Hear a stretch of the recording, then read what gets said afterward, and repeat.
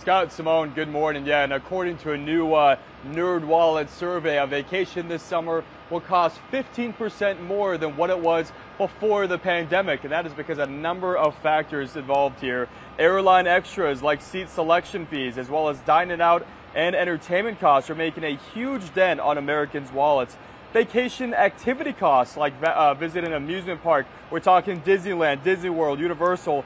That's risen around 3.4% too. And eating out, of course, a whopping 30% rise. These numbers on top of the International Air Transport Association who just predicted that rising fuel costs will be passed down to the customer. Still, Valley travel agent Jennifer Pierce says all of this is not keeping people from traveling this summer. Take a listen it's not really keeping people away from traveling. They're just ch- changing how they're traveling. Um, where they used to be going maybe seven, ten days, they might be going only, you know, five or six days um, to get into that budget they want to go. So they're not really not going. They're just changing how they're traveling, or they're going to Europe where their dollar is a little bit stronger.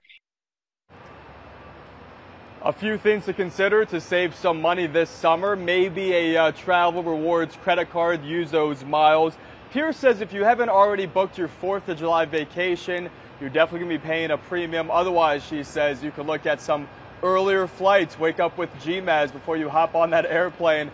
That might be able to save you some money too. We'll send it back to the studio.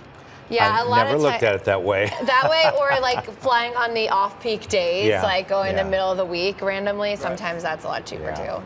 Like leave on a Tuesday morning, come home Tuesday night. Just one night, one night only. yeah, one day.